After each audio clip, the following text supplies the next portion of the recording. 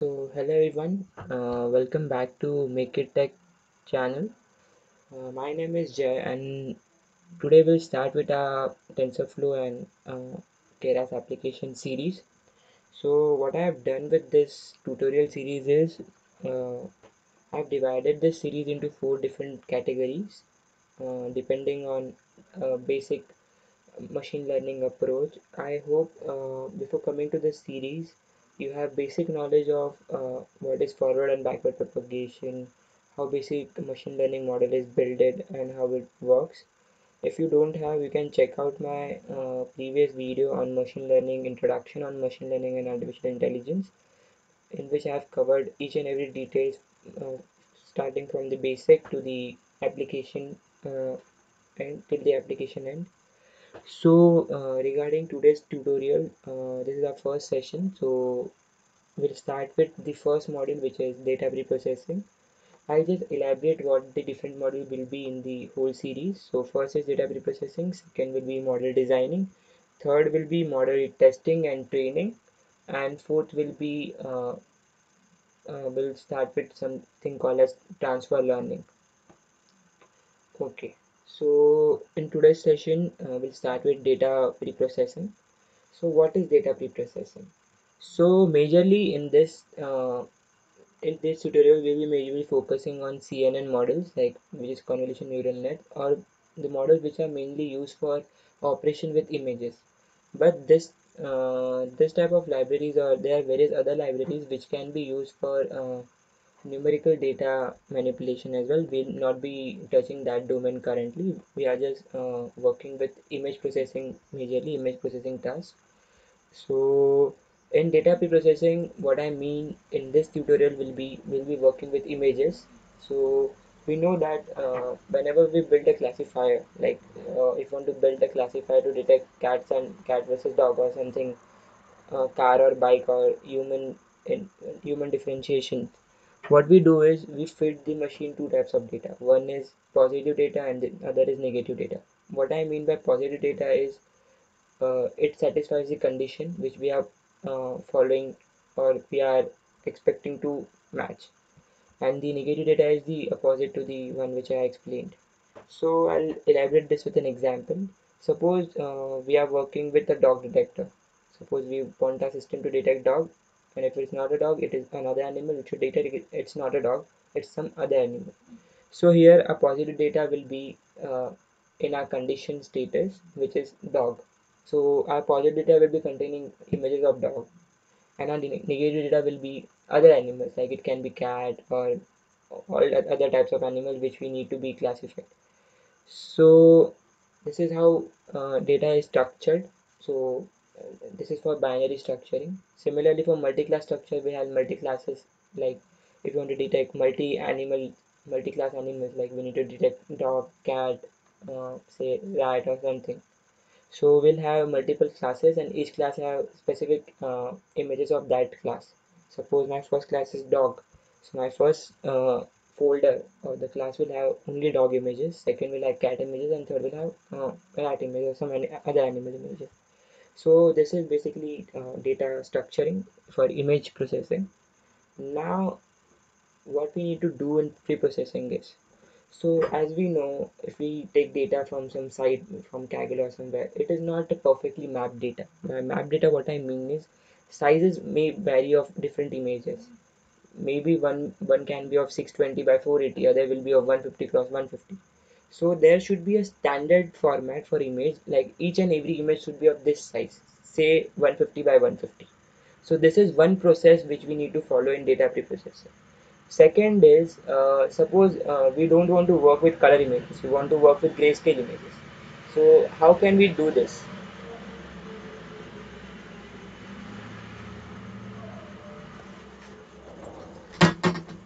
In order to do this, what we can do, do is in data preprocessing, we can pre-process the color image into a grayscale image and then we do our uh, other model uh, processes. So these are some of the tasks which data preprocessing is solving and which is the most important part in building a image classifier or working with images in machine learning. So uh, today we'll be discussing two libraries simultaneously. One is pillow another is opencv. So as you can see I have listed this in my Jupyter notebook. So data preprocessing two libraries using OpenCV and Pillow. This both are most used libraries and both has their own uh, advantages and disadvantages. I'll recommend you to go and study what are different advantages and disadvantages of this, these two libraries.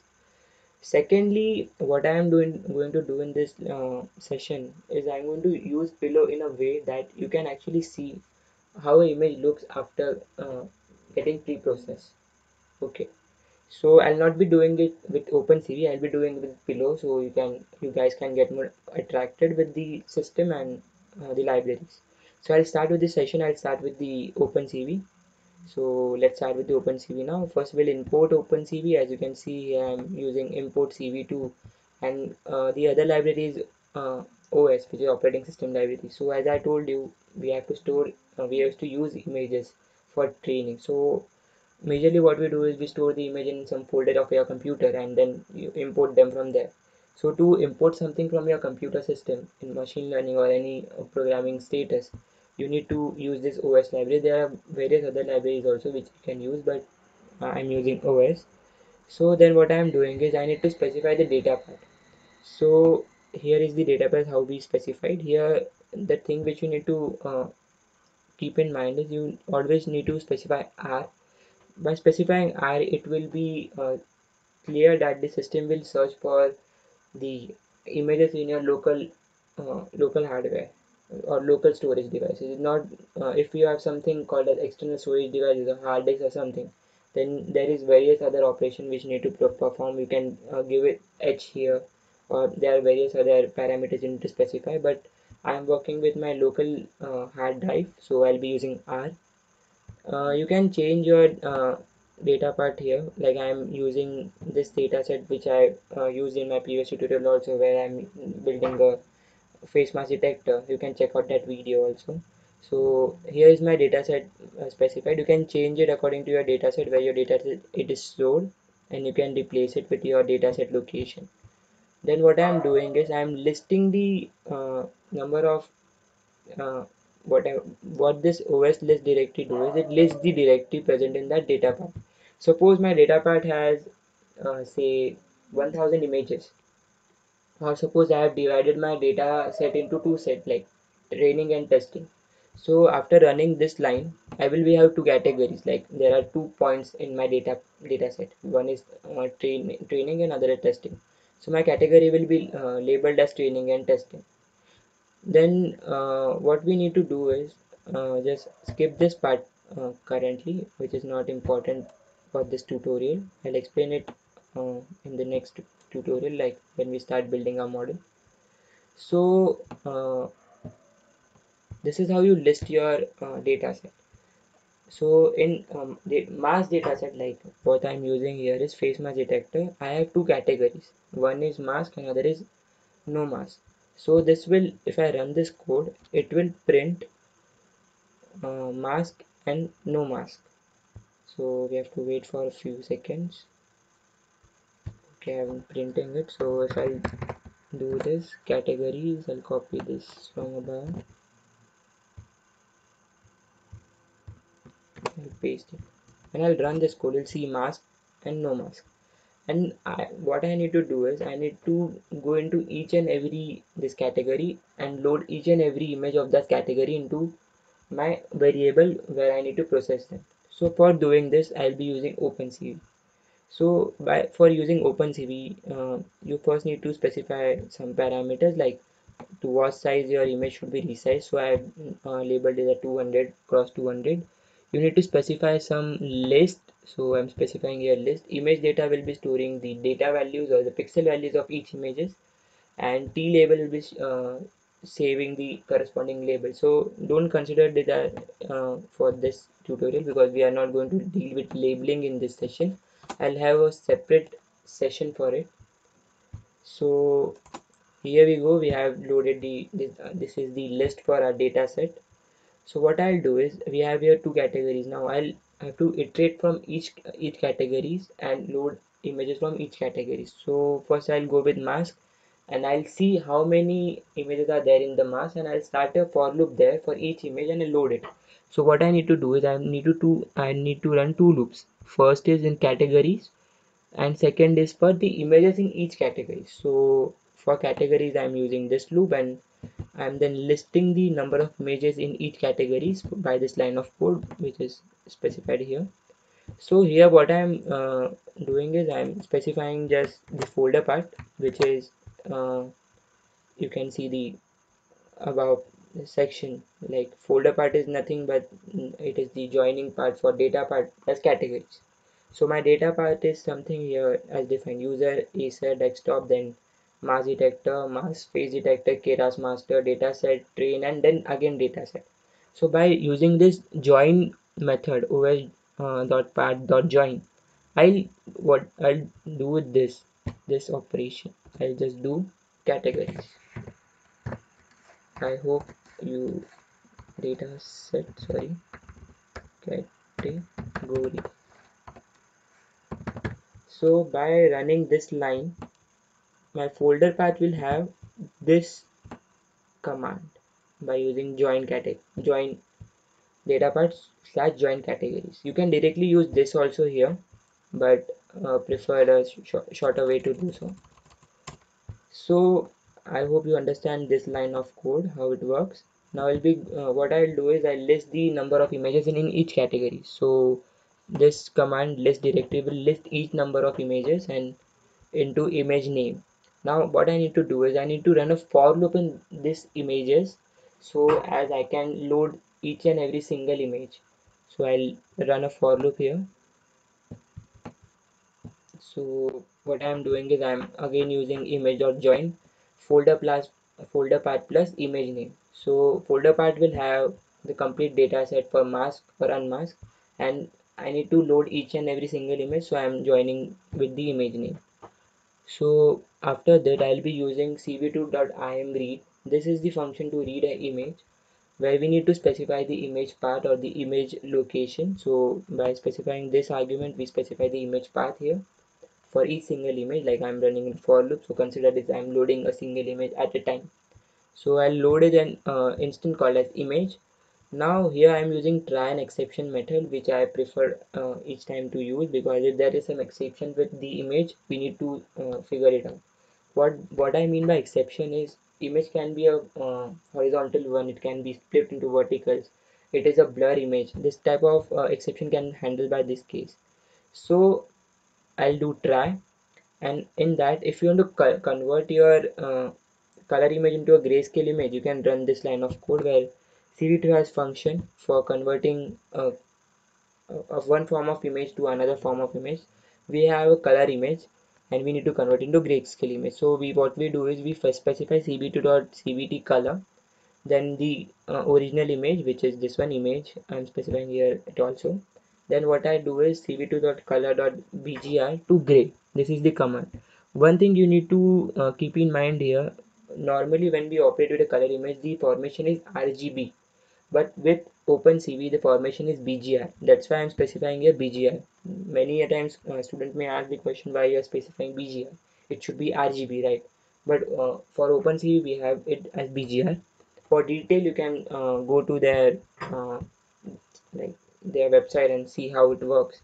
So this this step is actually optional. If you want to convert your image you can or if you want you don't want to convert you uh, it's completely dependent on you then the most important uh, command here is cv2.resize so as i explained you need to resize your data towards fixed data so that data manipulation should not happen so this line of code do do the same where you use cv2 the resize and you specify your previous image. In our case, we have converted into a gray and again we are filling that gray image to the resize module. And you need to specify the bonding where to what side you want to resize it. So I'm resizing it to 200 cross 200. You can do it according to your convention. And then what I'm doing is I'm appending this numbers like this data to a list called as data append so sorry I misplaced the it is this one I am image data not append so what this line will do it, it will append all the resize image data to this list okay the second line is regarding the labeling which will not be considered in this session. And I hope this this is clear for you guys. So I'll just load this. So this will take a few minutes. For me I'm using a i5 computer. Then too it takes around 5 to 10 minutes to load this type of bigger dataset uh, it completely depends your depends on your system. Maybe you are using GPU it will be very quick and if you are using other versions then it, it may take some time.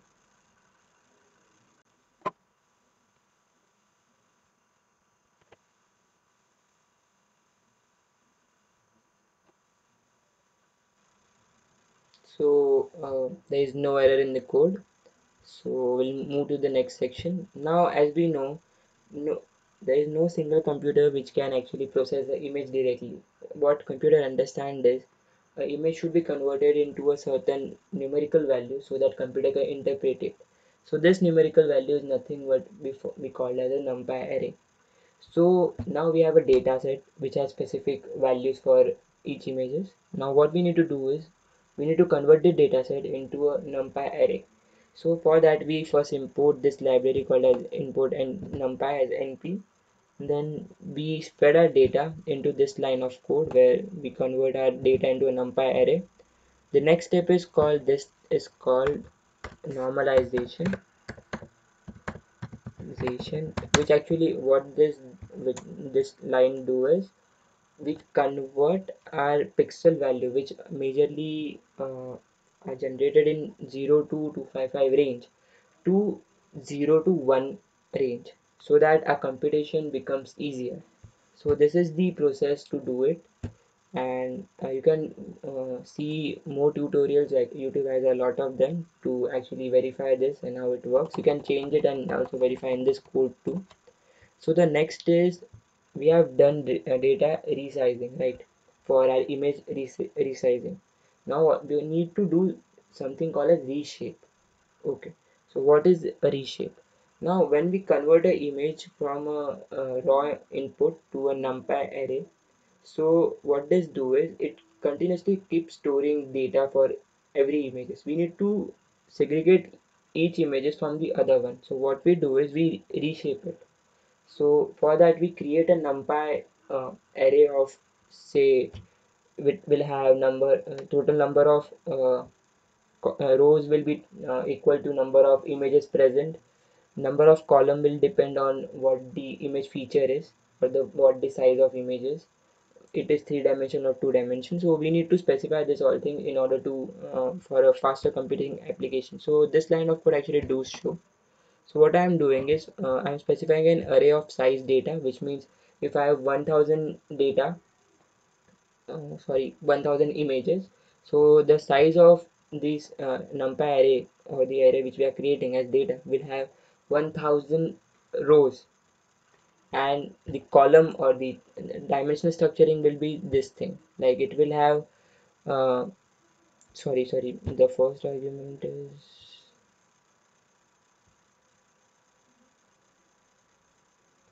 so uh, what what we mean by uh, data reshaping is so we have a numpy array right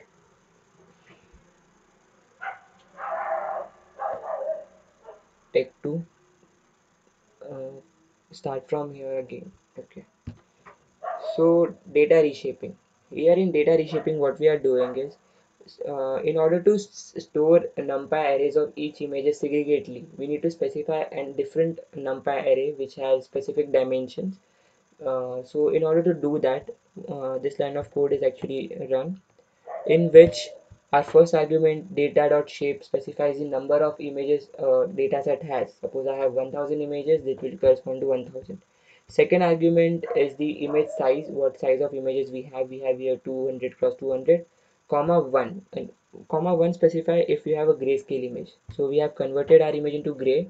If you have not converted your image into gray you should specify here 3 so this this need to be taken care uh, then we need we also need to uh, if we are starting with labeling also so we need to convert our labels also. So this line of code actually do, do that but don't consider it currently because it's we formulate a tutorial for like specific for labeling. So we have created a numpy array where we have stored all our data values image data values. Now in order to uh, make a model more precise we need to shuffle the data right? The data should not be in flow. Otherwise it will have first category masked uh, up to one one level and then the other. So model can get uh, overfitted. In order to overcome this we need to shuffle our uh, uh data set. For that we'll be using this uh, shuffle uh, input library. Before that I'll just delete this line of code because it is not concerned here so using this we actually shuffle our data library and at the current at the same time we also shuffle the labels corresponding to it. So this is how we pre-process uh, uh, data using uh, OpenCV. So uh, once we have seen how a data is processed now we should start with the labeling process. So what method I'm using for labeling is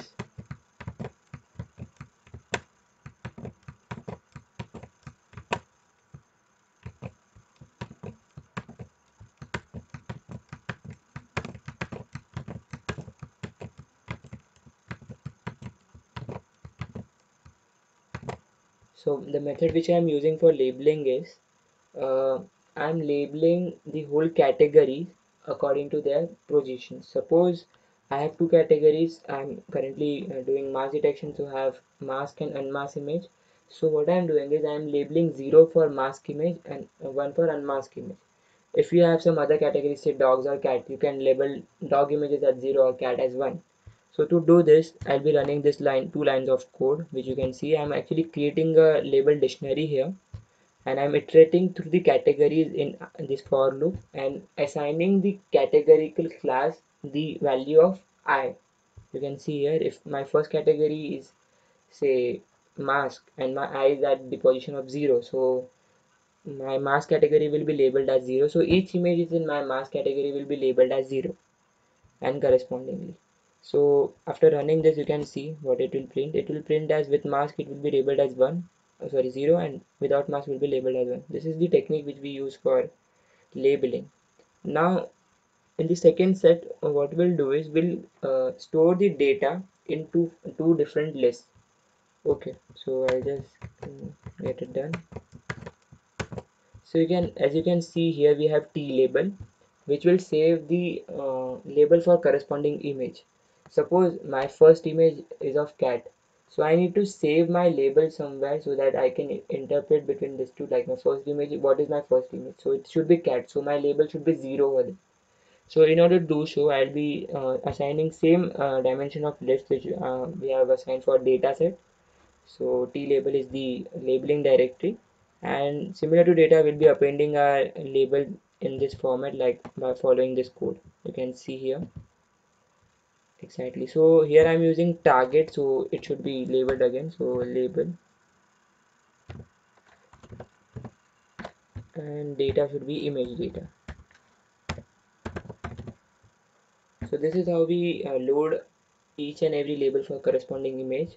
Now moving for uh, as we are converting our image into numpy formation we also need to convert our labels to a numpy formation this can be done by following this line of code. That is damn simple to do so. And you can just follow this line of code. So that your label will also get converted into numpy array.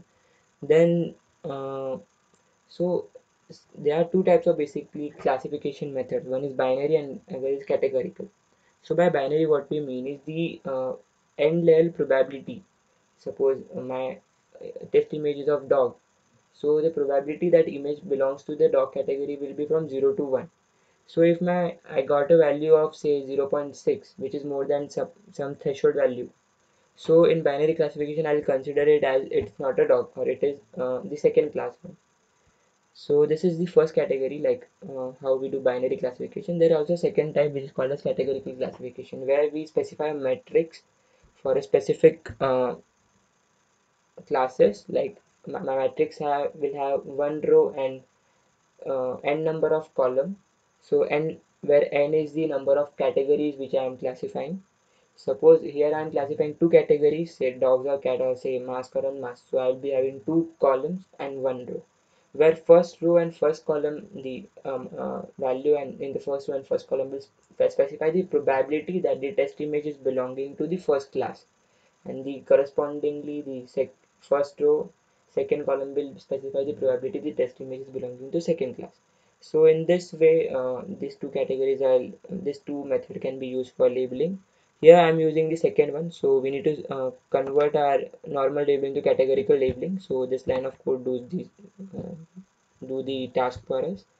And then what what we do is the shuffling of data which is important for overcoming overfitting or avoid overfitting. So this line of code is doing so. So this is how we use uh, OpenCV uh, for image uh, loading and processing pre-processing. So the uh, so in the next tutorial we'll see uh, how can we use pillow for the same and how a image is uh, image looks after getting resized or pre-processed.